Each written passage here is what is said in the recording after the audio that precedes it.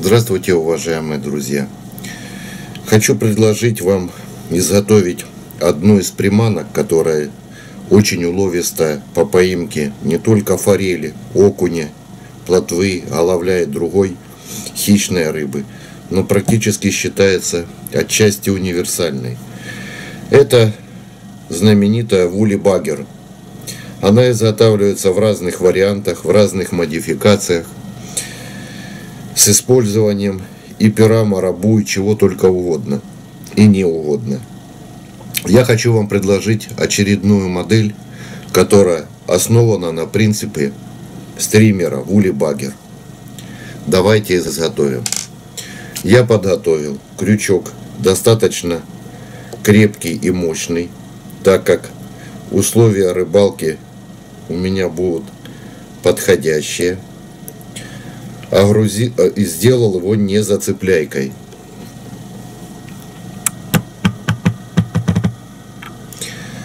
огрузил латунной головкой. И дополнительно мы еще с вами сейчас огрузим свинцом. Особенность этой, этого стримера будет заключаться в том, что мы равномерно огрузим его переднюю рабочую часть. Так что он у нас будет ровно будем говорить, немножко неправильным языком проваливается в толще воды в момент проводки. Значит, буквально совсем-совсем немножечко, сколько вот у меня здесь выйдет с этой полоски до шарика. В общей сложности огрузка будет составлять где-то порядка 3,5-4 граммов. Этого вполне достаточно, чтобы можно было забросить любым спиннингом на нормальное расстояние. А для нахлыста это даже очень-очень хорошо.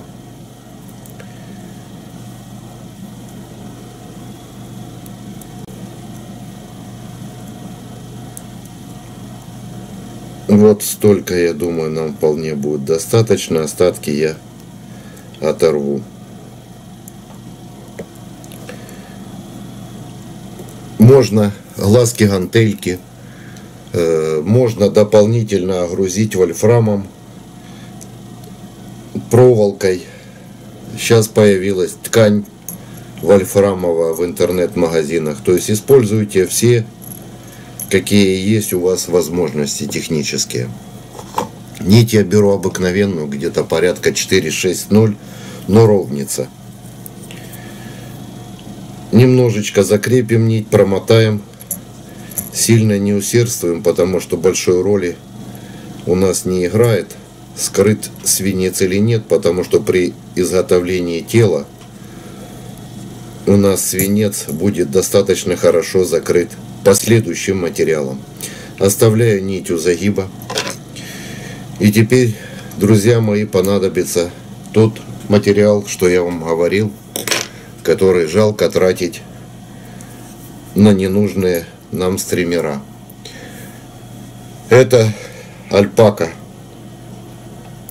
Но прежде чем мы будем крепить этот благородный мех, мы сделаем крепление красного меха так, чтобы мех альпака у нас находился в центре нашей красной пушечки из меха песца. Совсем небольшую беру кисточку красного меха, убираю под шерсть, так и креплю у загиба. Усердствовать сильно не надо, потому что у нас количество меха должно только лишь определять точку прицеливания. Поэтому я вот так аккуратно его прихватываю в одном месте, рассредоточив равномерно, как вы видите, по цевью, до конца не приматывая. И из меха альпака я возьму приблизительно, вот у меня так вышло здесь 3-4 пряди. Они достаточно заметные. их никак вы не попутаете по количеству. Так растет мех. Вот вышла у меня приблизительно вот такая кисточка. И теперь вы можете выбрать для себя сами, но я обычно выбираю две или две с половиной длины самого крючка. Вы посмотрите по своему меху и по своим обстоятельствам рыбалки. Мех очень скользкий, поэтому мы с вами закреп промажем клеем место крепления. И вот так буквально в одной точке сверху над красным мехом подхватим наш мех. Подхватили. Для того, чтобы выглядел мой стример симпатично привлекательным, я подготовил плоский голографический люрикс.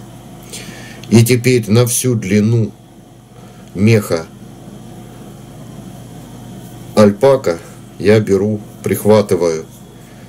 Вот сколько у нас есть возможность. Две, три, четыре пряди. Здесь как раз таки наш блестящий элемент лишним не будет. Поэтому я постараюсь со всех четырех сторон по парочке прядей в равном количестве по всей длине уложить. За счет того, что люрикс плоский, он очень хорошо взаимодействует в воде, когда наш мех начинает хвостик играть. Поэтому желательно выбирать качественный и хороший люрикс. Вот здесь, ребята, немножко елочные украшения новогодние наши не пройдут. Поэтому, если есть возможность, найдите более качественный, хороший люрикс. Подобрали. Добавим немножечко клея. И теперь вместо крепления нашего меха, как вы видите, сверху и по бокам мы с вами закроем также красным мехом, чтобы у нас наша кисточка из меха альпака находилась как бы в середине. Повторю еще раз, большое количество укладывать меха не обязательно.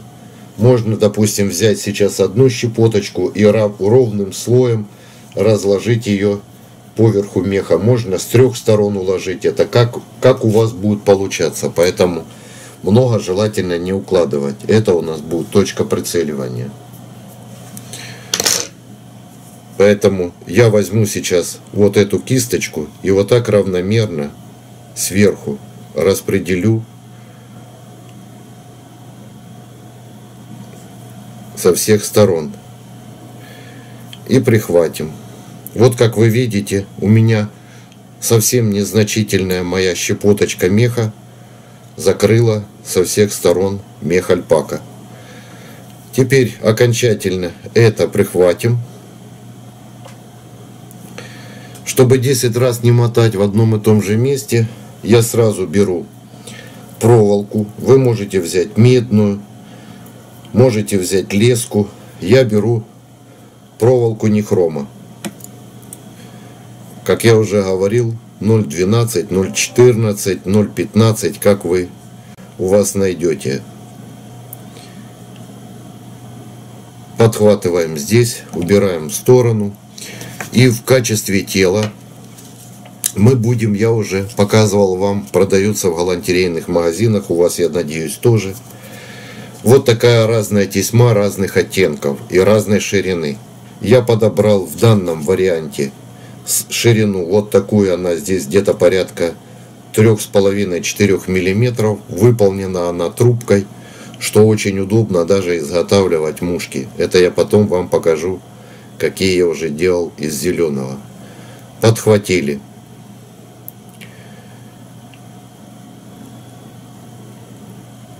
И теперь, чтобы не проматывать 10 раз одно и то же, уводим нашу нить.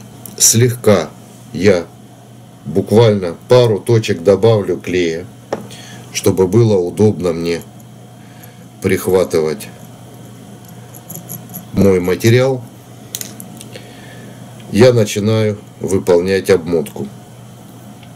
Плотными виточками, так как мы обычно с вами, допустим, обматываем обыкновенным люрексом. Обозначим просто контур нашего тела.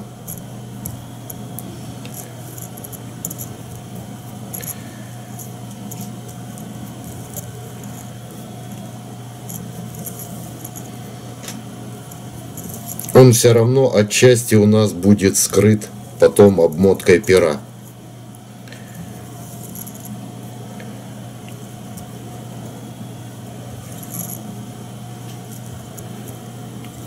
И доходим буквально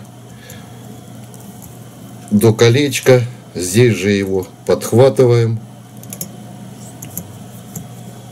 закрепим и остатки отрежем. И теперь, друзья мои, здесь мы делаем, наносим капельку клея, делаем завершающий узел и убираем отсюда нашу нить белую. Начинаем теперь изготавливать тело.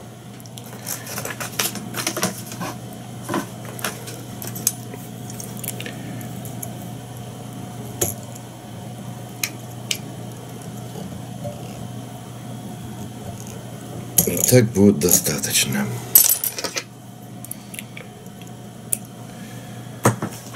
Теперь я беру красную нить. Обыкновенная, тоже будем говорить, почти из тесьмы. И закреплю ее у самого-самого хвостика. Закрепили. Остатки отрезали. Я, вы для себя, допустим, можете подобрать разную цветовую гамму, какую вы захотите для себя изготовить. Ну вот я, допустим, подобрал вот такие перышки. Желтая, оранжевая и шартрес. Три цвета. Поэтому вначале я, допустим, креплю желтое перо, посередочке оранжевое. И потом буду выполнять обмотку поочередно всеми вот такими этими перышками. Закрепили здесь. Можно даже не стесняясь для надежности добавить капельку клея. И чуть-чуть подождать, пока прихватится. Так как нам не нужно обматывать здесь очень много, лучше подхватить клеем.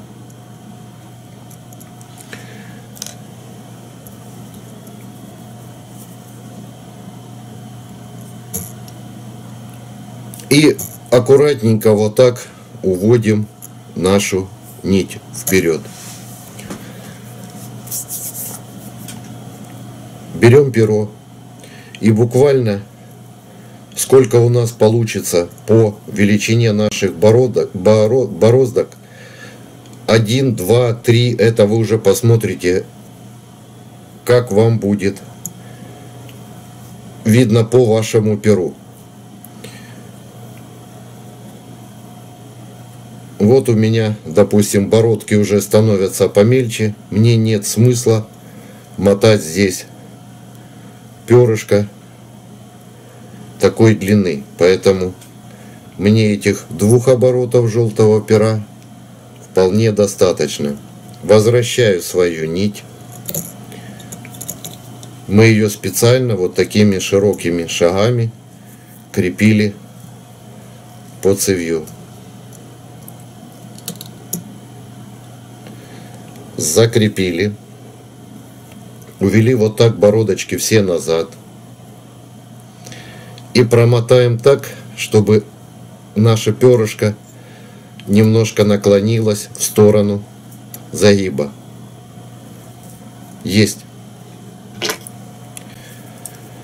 Удаляем остаточки нашего пера. И точно так же, учитывая то, что мы мотаем по синтетическому люрексу, это наш красный сплетенной. Не стесняясь, добавим на место крепления капельку клея. И здесь же закрепим с вами оранжевое перо.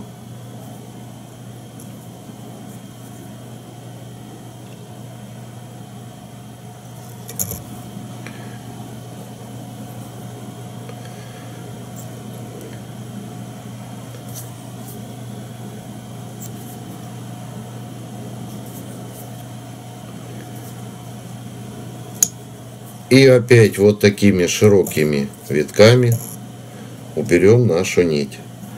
Отводим бородки в сторону и выполним пару-тройку оборотов.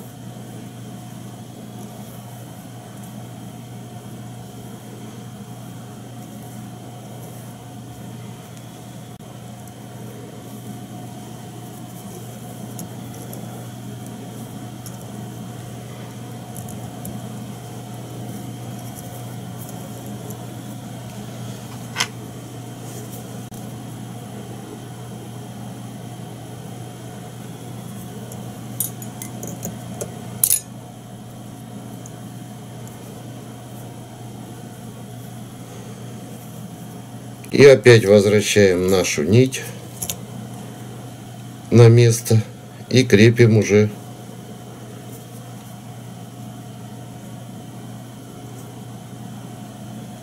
оранжевое перышко.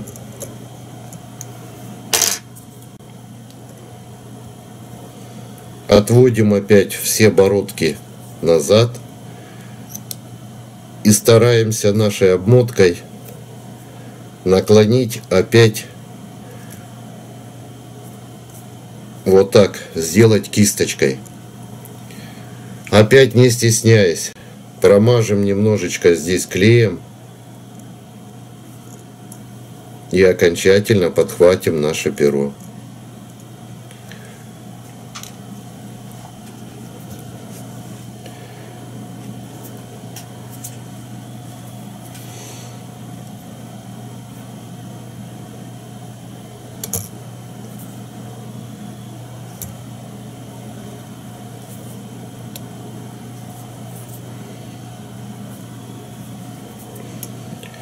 Закрепили следующее перышко, опять увели также нашу нить, чтобы нам не мешало. И выполним, сколько нам позволит наше перо. Перо можно брать здесь практически любое. Оно у нас только лишь выполняет функцию раздражителя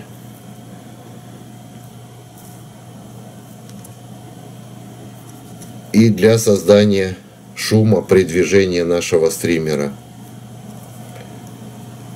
Ну, желательно, чтобы цветовая гамма как-то соответствовала стилю вашей мушки. Вот мы дошли до величины бородок. Крепим здесь перо. Опять уводим бородки. И опять также их здесь подхватываем. Добавим немножко клея.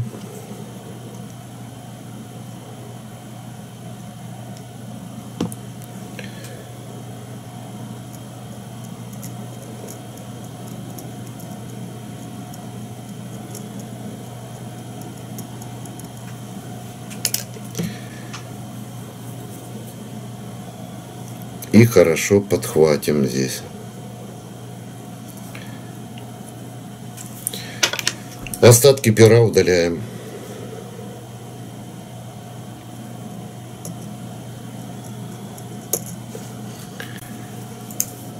И теперь для того, чтобы мне не выполнять неоднократно одну и ту же работу, я в этой точке закреплю уже совсем другое перо.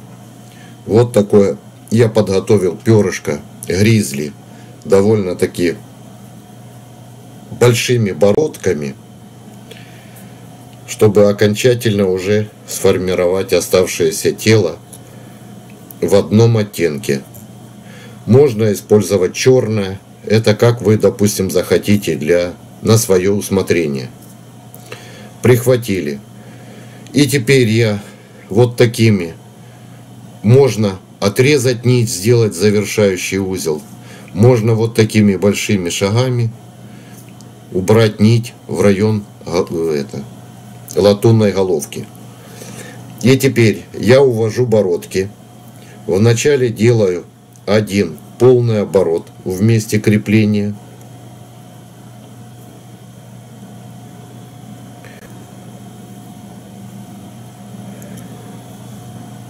Следим за тем, чтобы наши бородочки не подминались. Вот мы сделали один полный оборот.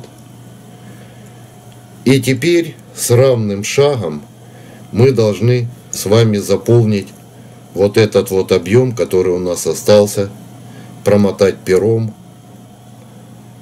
до нашего латунного шарика. Выберем приблизительно наклон.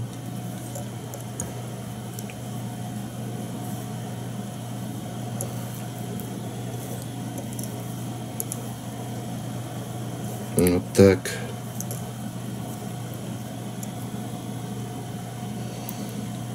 Очень даже хорошо мы с вами угадали. И теперь доходим до крепления нашего латунного шарика. И здесь выполним один полный оборот. Даже если попали вот так, как у меня, наши пуховые перья, это очень даже приветствуется. Здесь закрепим и окончательно удалим уже наше перо.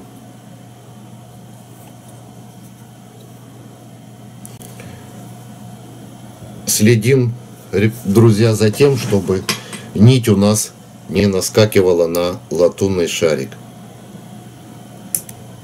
Вот так, убрали.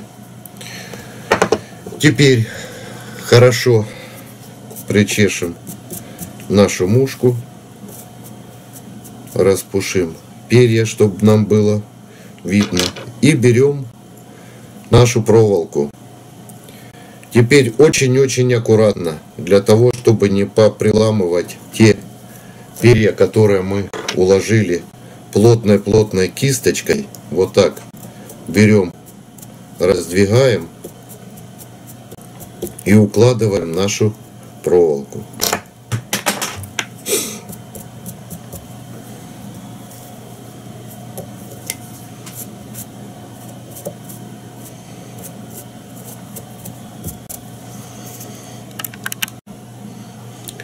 Как вы видите, сложности в изготовлении этого стримера нет.